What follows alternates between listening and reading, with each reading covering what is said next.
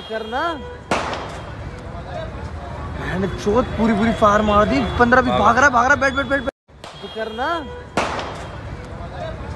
मैंने चोट पूरी पूरी फार मार दी। पंद्रह भी भाग रहा भाग रहा बैठ बैठ बैठ बीती देर रात राजधानी दिल्ली की शाही जामा मस्जिद के करीब यारब चलादे होटल पर एक गोलीकांड निकलकर सामने आया, जहाँ एक 26 वर्षीय नौजवान की, समीर नामक नौजवान की मौके पर मौत हो गई। मकतूल समीर की हमने आपको हर एक एक अपडेट इस मामले से जुड़ी हुई दी। देख सकते हैं कि समीर ग्राहकों को अटेंड कर रहा है, दुकान पर खड़ा हुआ है और ब्लैक टी शर्ट में कैब में खड़ा हुआ है। कस्टमर्स लगातार शॉप पर आ रहे हैं। इसी बीच, जैसे ही आप वीडियो को देख रहे हैं, यहाँ कस्टमर्स अंदर बाहर बार बार हो रहे हैं। और अब ये आपको कस्टमर्स नहीं बल्कि हमलावर जो कि होटल के मालिक राजू शाखा के ऊपर हमला करने के लिए आए हैं वो आकर राजू से पूछते हैं। समीर दूसरी दुकान की तरफ़ व्यस्त है दूसरी दुकान की ओर चला गया है। दूसरे जो भी ए, काम करने वाले लोग हैं वो यहाँ पर खड़े हुए हैं। फ़िलहाल राजू से वो जो हमलावर हैं जो आपको हमला करते हुए नज़र आएँगे वो फ़िलहाल बात कर रहे हैं। वाइट कैप में। अब ये देखिए किस तरह से इन लोगों ने यहाँ हमला कर दिया है राजू पे। वाइट टी शर्ट में आपको राजू शाखा होटल के मालिक नज़र आ रहे हैं। मारपीट डंडों से कर रहे हैं। इस बीच में समीर भी बीच में आ गए हैं। और इतने में जिस तरह से ये एक लड़के ने पिस्टल हाथ में लहराई और अब ये यहाँ पर फायरिंग करने लगे। हमलावर पीछे होकर तड़ातड़ फायरिंग कर रहे हैं। अब इस वीडियो को मैं आपको दूसरे एंगल से भी पूरे दूसरे तरीके से दिखाने का प्रयास करता हूँ। वीडियो तमाम सोशल मीडिया पर इस वक्त, चाहे फेसबुक हो व्हाट्सएप हो, तमाम प्लेटफॉर्म्स पर बेहद ज़्यादा वायरल हो रही हैं। यहाँ समीर को आप खड़े हुए black T shirt black cap में देख सकते हैं। समीर खड़े हुए हैं और उसके बाद यहाँ कस्टमर्स का आना जाना ग्राहक खड़े हुए हैं। यहीं भट्टी, जो भी कबाब वगैरह सीख रहे हैं, वो तमाम चीज़ें नज़र आ रही हैं और इस बीच में दूसरी तरफ़, इतनी देर में हमलावर राजू से लड़ाई झगड़ा कर रहे हैं और समीर भी अब दूसरी तरफ़ वहीं आप पीछे हमलावरों को जाते हुए देख रहे हैं इस वीडियो में। और अब समीर भी दूसरी तरफ़ जो है, वो एकदम बीच में उस झगड़े के, जो कि राजू पर हमला कर रहे हैं, ये आप देख सकते हैं तस्वीरों में, वापस उसी झगड़े की ओर घुस जाएगा। फ़िलहाल अभी समीर शॉप के अंदर जा रहा है। अब देखेगा कि राजू पर कुछ लोगों ने हमला कर दिया है।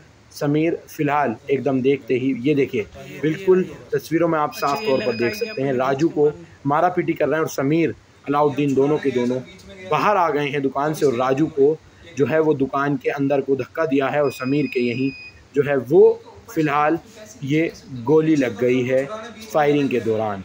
फ़िलहाल इस पूरे मामले में अभी तक कई खुलासे होने बाकी हैं, लेकिन सूत्रों के अनुसार पुलिस इस मामले की ज़्यादा से ज़्यादा छानबीन कर चुकी है और जो असली हत्यारे हैं हमलावर हैं अब उनकी पहचान तो की जा चुकी है तलाश की जा रही है। ये चावड़ी बाज़ार का वो पॉइंट है जहाँ बैरिकेडिंग होती है और हमलावर नकाबपोश है पूरी तरह से कैप में हैं भागते हुए आपको बाइकों पे नज़र आ रहे हैं। एक नहीं बल्कि दो दो बाइकों पर ये देखिए पीछे से भी आ रहे हैं। पाँच हमलावर पुलिस कैमरे में नज़र आ रहे हैं। यहाँ एक कैब खड़ी हुई है। दो लोग हैं इसमें। नहीं मालूम ये कौन लोग हैं लेकिन फ़िलहाल यहाँ से हमलावर फरार हो गए। पिस्टल का वो वीडियो हथियार लहराते हुए अब आपको दूसरे एंगल से इसी वीडियो में नज़र आ जाएगा। रोड चल रहा है ताज होटल की ओर से। ये जो रोड आ रहा है जामा मस्जिद गेट नंबर तीन की तरफ़ को बैक साइड पर वो देख सकते हैं। अब यहाँ गोलियाँ चली है पीछे और ये लोग डर के मारे भागते हुए वापस आ रहे हैं। अब आपको वो हमलावर इस सीसीटीवी फुटेज में हाथ में पिस्टल लहराए हुए नज़र आएगा और फिर यहीं से वो भाग रहे हैं। देखिए पहला हमलावर आ रहा है और अब जो दूसरा हमलावर है उसके हाथ में आपको पिस्टल नज़र आएगी। ये तमाम तस्वीरें दिल्ली की शाही जामा मस्जिद की हैं। बाद नमाज़ मगरब, नमाज़ जनाजा, समीर का मकतूल का, जिसका कत्ल गोलियों से कर दिया गया दादुन फायरिंग चलाई गई, जामा मस्जिद पर दिन दहाड़े, जहाँ चलत फिरत काफ़ी ज़्यादा रहती है, उसका जनाजा है। तस्वीर सीधी दिल्ली गेट कब्रिस्तान से आप देख सकते हैं, जहाँ मकतूल समीर को फ़िलहाल जो है वो दिल्ली गेट कब्रिस्तान में उसकी आखिरी मंजिल तक तदफीन के लिए जो है वो लाया गया है। और हजूम लोगों का अगर आप पीछे देखने की कोशिश करें तो इलाकाई तमाम दूर दूर से लोग यहाँ समीर के जनाजे में शरीक होने के लिए यहाँ पहुँचे हैं। बहुत ज़्यादा लोग हैं और क्योंकि ये एक पुरानी दिल्ली के लिए जिस तरह से ये पूरा मामला सामने आया है, वो अपने आप में बहुत संजीदगी पैदा करता है। और अलावा इसके तमाम जो चीज़ें हैं, चाहे वो कानून व्यवस्था या फिर अचानक जो है वो आए किसी और के लिए और इस तरह से हमलावरों ने अब उनका सीसीटीवी वीडियो भी जो है वो खुले तौर पर सामने आ गया है। लेकिन जो फ़िलहाल तमाम तस्वीर हैं, वो मैं आपको ज़रूर दिखाऊँगा।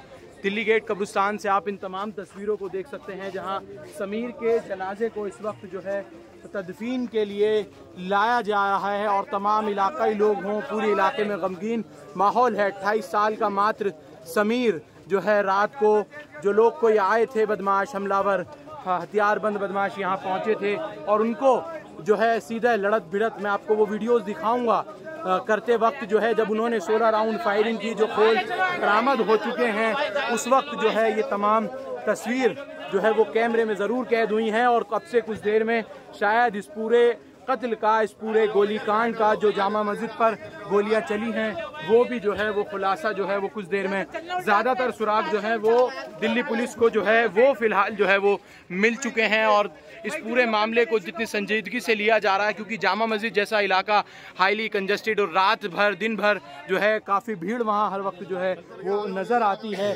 फ़िलहाल जो है, मैं आपको वही तस्वीर जो है, वो मैं दिखा रहा हूँ दिल्ली गेट कब्रिस्तान से। लोगों का हजूम कितना ज़्यादा है वो भी आप अगर देखने की कोशिश करें तो मैं आपको दिखाने का प्रयास कर रहा हूँ। लोगों का बहुत ज़्यादा यहाँ पहुँचे हैं तादाद में, और समीर की माएँ, बहनें तमाम जिस तरह से लगातार और उसके दो नन्ही मासूम बच्चियाँ रो रही हैं, वो देख सकते हैं। फ़िलहाल तमाम लोगों को रोका जा रहा है। मजमा काफ़ी ज़्यादा तादाद में है, लोग यहाँ पहुँचे हैं तमाम के तमाम। लेकिन कई लोगों से मैं ज़रूर बात भी करूँगा, उससे पहले फ़िलहाल ये तमाम तस्वीरें। ये तमाम तस्वीरें दिल्ली गेट कब्रिस्तान में जिस वक्त सुपुर्द खाक आखिरी मंजिल तक समीर को पहुँचाया जा रहा था, तमाम लोग तदफीन दे रहे थे, मिट्टी दे रहे थे। भारी तादाद में पूरी पुरानी दिल्ली के सामाजिक कारकुनान जो है वो शामिल हुए, लेकिन वहीं कई चर्चा है, ये भी नहीं कि इलाकाई विधायक, पार्षद, कोई भी यहाँ तक कि डिप्टी मेयर आल मोहम्मद इकबाल इतने बड़े इस मामले में वो नहीं पहुँचे। खुद शाही इमाम जामा मस्जिद भी और कई तमाम नामची हस्तियाँ इस जनाजे में शामिल हुई।